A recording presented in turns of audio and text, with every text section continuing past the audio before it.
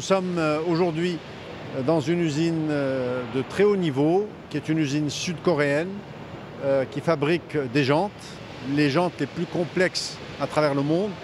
Elle fabrique 2 millions de jantes. Elle est en train de finaliser l'installation pour passer à une capacité de 4 millions de jantes. Et juste après, elle doublera encore pour arriver, comme nos accords l'ont prévu, à 8 millions de jantes. Ces 8 millions de jantes seront exportées à hauteur de 85% à travers le monde. Euh, et cette usine va employer 1300 personnes avec des techniciens euh, de, haut niveau.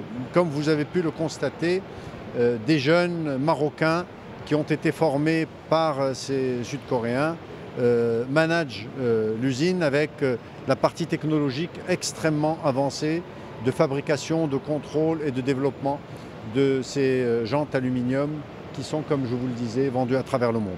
Donc nous sommes ravis d'assister à cet investissement qui est un des plus grands investissements dans le secteur automobile au Maroc et a déjà ramené avec lui une usine sud-coréenne qui est un de ses sous-traitants, et formera petit à petit un écosystème complet autour de Hans Corporation.